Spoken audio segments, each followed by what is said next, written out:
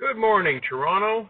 Paul Andrigo here, Toronto Real Estate Unfiltered, Toronto Real Estate Podcast on Instagram. So, first thing I hear today in the news, and I've seen it posted in a few places, is that the government is talking about banning the practice of bully offers. Huh. So, where do I begin? Um, a few years ago, I had the situation come up where I was in the process of selling a property. Uh, and what I did in my listing, which I believe was uh, revolutionary at the time, was I added three words. Pre, uh, four words. Preemptive offers welcome. So that meant bully offers were welcome before the bidding date. This is something I had discussed with my sellers, uh, and they agreed to. So we put that in the listing. Um, let's just say that I had a, a few people, some that were, you know, brave enough to, to, to discuss it with me, you know, directly to my face, uh, and some cowards who decided to um, blog about it, and uh, they knew who they are, uh, and still have not uh, faced me personally, and that's fine. That kind of just lets me know, you know, who I want to deal with in the future and, and not. But back to this point the, the, the, the statement is that bully offers are somehow unfair to sellers. So let's, let's break this down. So sellers have the opportunity, when they're selling their property, they have the opportunity to put an offer date. That's something that's been from, from the beginning of time, even though it wasn't something that was always done. Uh, the seller calls the shots. They could decide, you could send, let's say the, the property is a million dollars you could send someone an offer for, you know, three million dollars, and the seller can decide not to take the pro- the, the, the the offer. They can decide to take a, a, a eight hundred thousand dollar offer when given the choice. They can make any choice they want when you're selling your property. I believe that's fair. I believe that the seller should have the choice when you own your property as a as a as a homeowner um, you should be able to decide how the property sold. And and if, if the buyers agree, then of course they will bid. But if they don't agree, then again, no one shows up. Whenever and behind the scenes of how it works in real estate is not every property that has an offer date gets offers on that date. That's just not how it works. It's just one of many, and, and I call it the one of the 26 plans that we have in real estate. Obviously, for every alphabet letter, so plan A, plan B, plan C. There's always some, you know, there's always other plans, and there, there's some properties that started doing um, offer dates that I've seen uh, as long as two years ago that are still not sold because they just didn't get the number right. So it's it's a marketing effort. There, there's there's lots of them. So my point is, if the sellers can do what they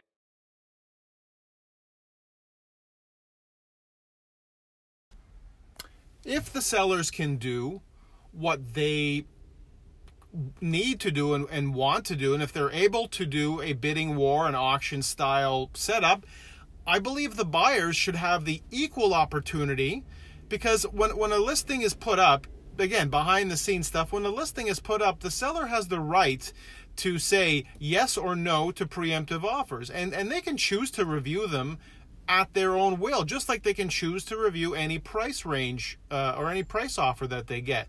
So for me, it's only fair that if bidding wars are still allowed, then bully offers should also be allowed. That is, in some cases, the only advantage some buyers might have. Now, bully offers doesn't just mean sending in any offer early. That's that's the other misconception. Um, if you're going to put a bully offer in, I'm, I'm not gonna I'm not gonna ever tell my buyers that you know you're not going to come in at asking or 5% below asking and and and get a place that's asking for bully offers you have to sort of like any eBay auction, you've got to predict. Well, they, you know, they they they they they, they put the starting price of a dollar, uh, but they want a dollar fifty. So that part involves a little bit of educated guessing, and I'm pretty good at getting you that number, saying I'm pretty sure this is what they want, knowing that properties in their area have sold for 20% over asking. they're probably looking for something like X price. So if you're going with a with a bully offer, then a preemptive offer, whatever you want to call it, um, you know, you will be going in pretty strong. Um, you will be getting your in my in my case when you're buying with me, I would ask you to get your financing, your inspection, anything, any conditions that you would normally put on the offer, you would have them covered and and handled before the offer gets put in. And that's it. Like you you should have as a buyer that opportunity um, to to to play on a level surface, and and I I find it almost um, uh, insulting for that matter for uh, anyone, whether it's the government or anybody else, to say that it's an unfair advantage to the sellers. Because again, whether you're and this is this is another part of me the one thing that I, I don't do is i don't work on the buying and selling side of any of my properties. It's just something that um, a i've never been comfortable with even when it was allowed uh, and it still is in ontario allowed. It's not allowed in bc but you'll still see it happening in ontario um, quite often especially with the big teams um, so I, am not a, I'm not a big fan of that. When I'm you know when I was on the rugby field, I spent a, a good decade of my life on the rugby field, uh, learning all the important life lessons. Uh, and, and one thing I can tell you that I learned on that field is that you could never play on both sides of the team at the same time. Eh, not in any sport, hockey, football, you name it, rugby. Um, so for me, I am 110 and a 1,000, whatever percent you want to use, exaggerated number, uh, is fine because that's the way it is for me. When I'm on one side of the equation, uh, I'm I'm I'm all in on making sure that I'm representing my clients properly and, and, and above and beyond average, and treating whoever's on the other side with fairness and equity as well.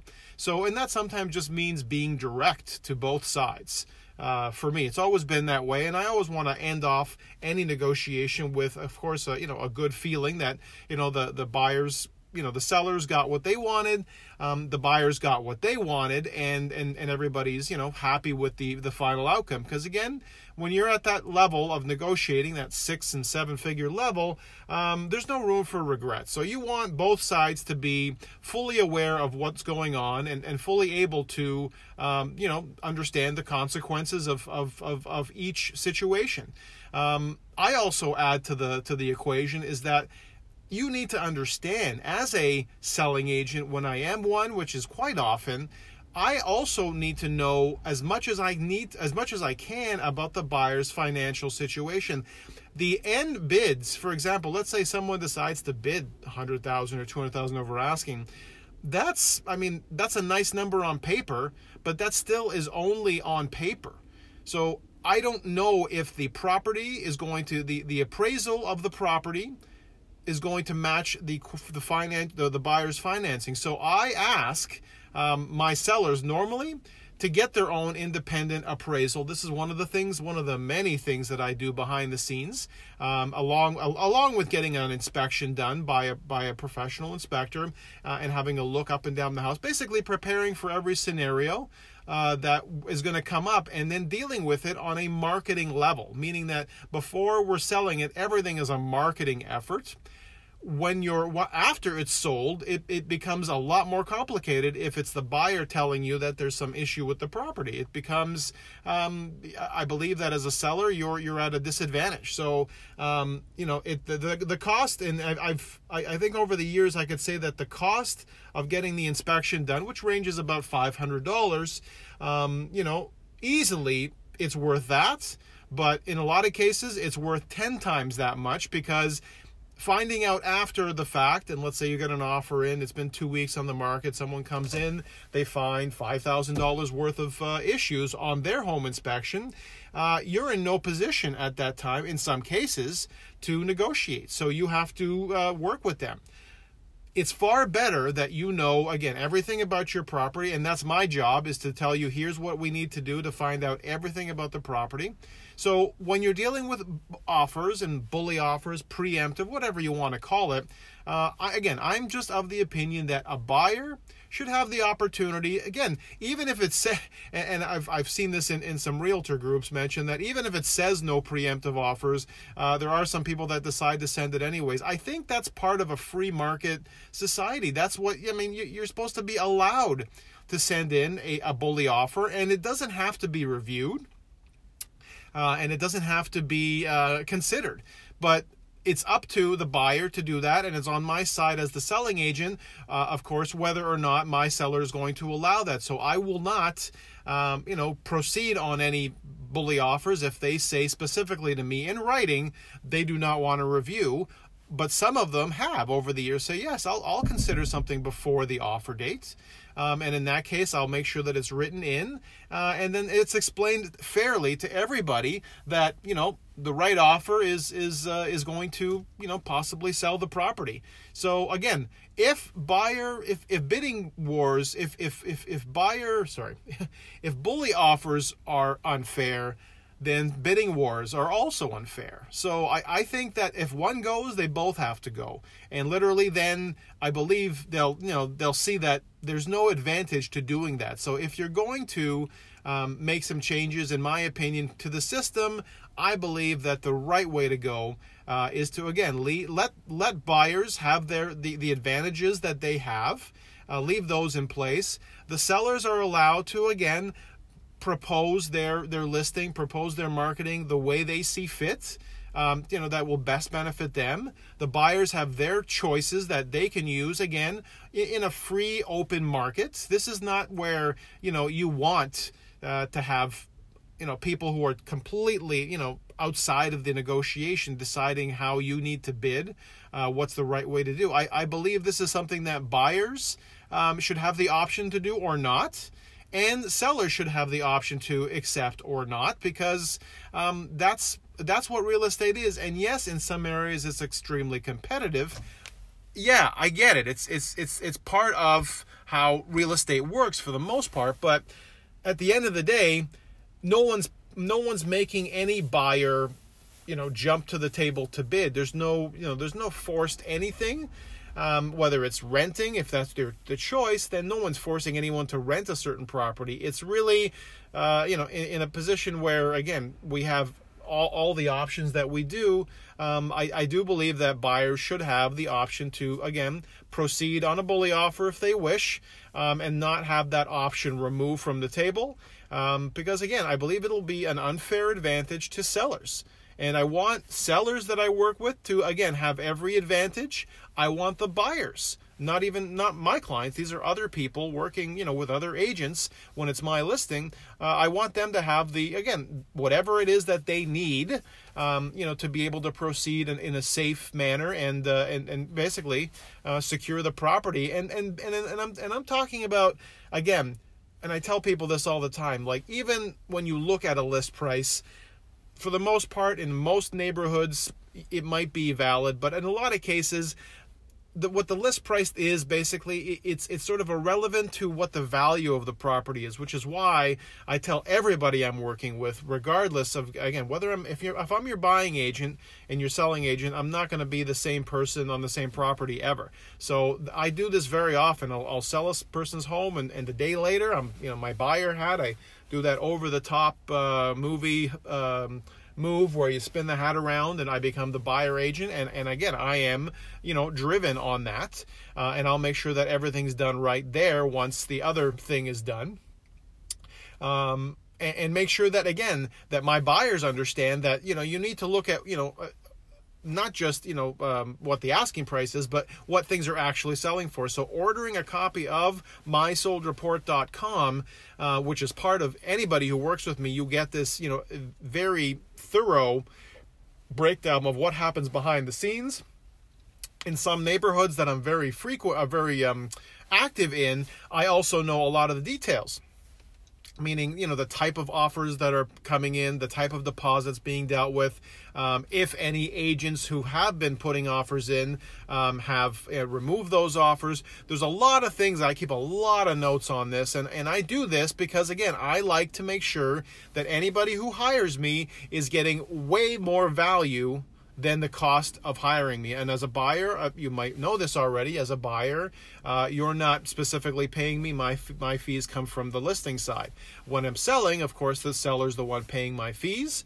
Um, and there's a lot of uh, you know there's a lot of details within that that you should know as well especially for those of you moving out of the city or moving into toronto from places outside for work. Uh, there's a lot of advantages that you need to understand and, and in some cases uh, it even includes uh, the opportunity to um, to to to have a to to to, to make my fees completely tax deductible. So you need to understand if you're moving to Toronto, 40 kilometers or more uh, within Ontario, you're moving for work. Uh, there are actually specific advantages that again none of this stuff is ever talked about it's it's just the other the, the little details sometimes the ones that you know the, the details that matter less i believe um, th- there's a lot bigger things that again I hope when we're when we're together at the at the you know at the coffee shop at your house uh, looking at properties which I'm on my way to do right now um, when we're talking about this stuff one on one there's so many things uh, and I can't even possibly and I won't um, get into them here simply because I, I, I just don't think the audience um, will you know we won't be able to connect on things uh, and as Frank Zappa said when it comes to communicating. I mean, it, it really what's missing in, in, in whether it's recorded or uh, typed information, the eyebrows, uh, emotion, um, expressions, things like that. Without those, I can't actually do all the things I want to do. I can do some of them, but and this is why this podcast is great because I can do a lot of explaining uh, communication. Uh, we, you know, we, are sort of we're opening up a dialogue right now. Right now, it's a monologue, but it opens up some conversations. But as far as in, in, you know being together, sitting across from each other, you know, just being in the same room, um, discussing all the details. That's the only time, and that's why this will never be an automated or a robotic experience. And and you know, you're never gonna you're never gonna be able to do this off a screen 100%. There are so many intricate details. There's you know there's a there's a list of about a hundred plus things that can go wrong in a transaction that uh, again a lot of people aren't are never told about they're not you know they're not um, you know they're not fully versed on. And th- these are the kind of things that i i do in my buyer and seller boot camp programs. It's something that i'm uh, very adamant about. I want you guys to know I, i've been doing this now 19 years. I want you to know everything good bad ugly and then you decide. And this and this is how you know for for a lot of us that uh, you know that have been involved in real estate i've purchased and sold a few homes over the years myself. Um, sometimes you you you know you, you hear the good you hear the bad and you do it anyways. So you decide on what level of risk that you're comfortable with in life uh, and then you decide okay you know what i'm, I'm going to go for this. I, I think it's going to work out for me. And um, you just know inside as you get older, especially, I can tell you right now, from my 20s to my 40s, bought my first house in my early 20s, um, and uh, continue to you know buy a few more houses right into my 30s, um, and have been at the house that uh, we own now, for, you know, over the last. Uh, uh, 07 we bought it. So uh, over 12 years now. So um, very comfortable with the again the risks that I've taken because the rewards have been uh, quite good, and I want that for you guys too. And and I always say that anything that happens with me, any sale that I'm part of, which I'm very grateful for, um, I'm always hoping to pay it forward twice, not once but twice. Um, and in the case of right now with my 100 Souls campaign that I'm on, uh, is my goal is to help five to 10 people a month make a move. I'm hoping in some way buying, selling, and even renting is fine. Um, but to help five or 10 people a month make a move. And if I can, I can then provide up to 25 to 50 meals for the homeless in those communities, uh, which for me is is absolutely the, the, the best end result. Last year at, at, at uh, during the holidays, during Christmas, uh, I was able to provide dinner for 21 people um, at the Scott Mission, and that was something I set as sort of a, a goal for myself as I as I helped 21 people last year. So I've um, increased my goals. I want to be able to provide 25 uh, at least meals per month um, every month if I if I can. And again, I can't do that without the support of you know the amazing people here, the almost 11,000 of you that are listening around the world.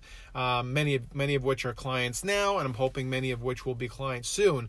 But again, for me, this is all all the stuff I'm talking about. This is all part of uh, you know the process of again choosing the right realtor if you're going to be in an active market like this, I mean, you know, uh, whether it's Toronto, whether it's New York, whether it's Los Angeles, whatever the market is. I've, I've got amazing people in all of those places that I you know work with regularly. I, I've actually sold.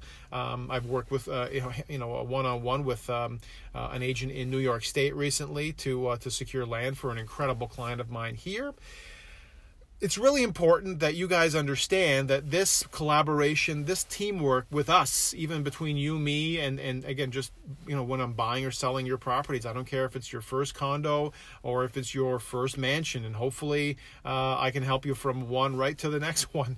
Uh, and I've done that actually over the years. I've helped people go from first condo uh, to again what I would call first mansions and uh, move on from there. And I want to do that for everybody listening. So, uh, bottom line let me help you guide let me guide you through the process and i promise you uh, every time i do it will be rewarding. And again you'll come out a lot stronger through the process and uh, uh, you know you'll know a lot more than the average bear does. And uh, and again it'll it'll be a good thing for you